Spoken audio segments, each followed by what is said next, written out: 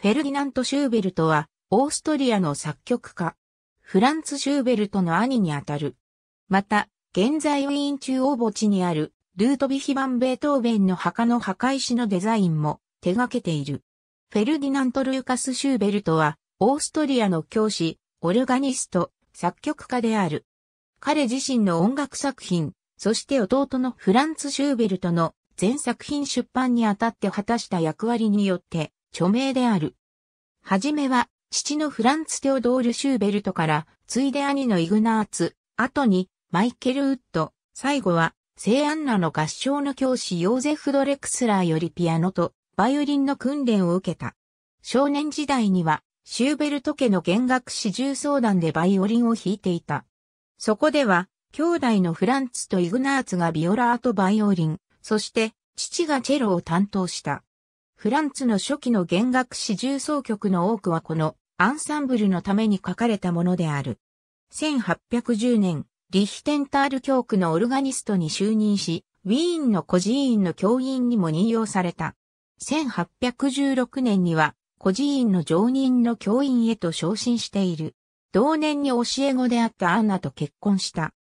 1818年に弟のフランツがフェルディナントのためにドイツレクイエム D621 を作曲するが、後年フェルディナントはこれを出版するにあたり自作であると主張して手柄を横取りすることになる。1820年、アルトレルヒエンフェルトで教員、合唱指揮者となる。1824年には、聖アンナの教員養成機関の講師への任用を得た。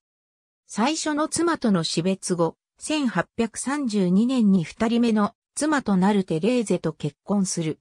彼は二度の結婚で合計29人の子供を設け、うち12人が成人することができた。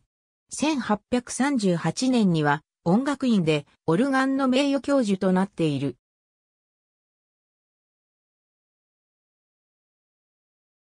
学校の運営者としての目立った業績により、専門家の間で賞賛を集めたため、1851年には、聖アンナの普通小学校の学校長の地位を得た。フェルディナントは、フランツ・シューベルトの音楽遺産のかなりの部分を保持していた。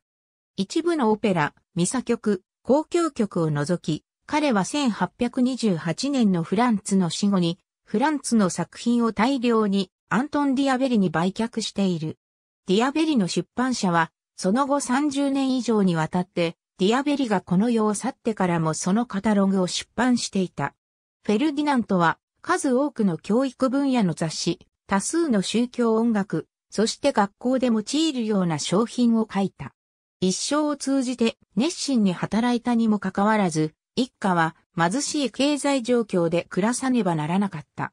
そういうわけで、彼は弟の死後にどんな作品でも出版に回して家族を支える助けにする必要があったのである。ありがとうございます。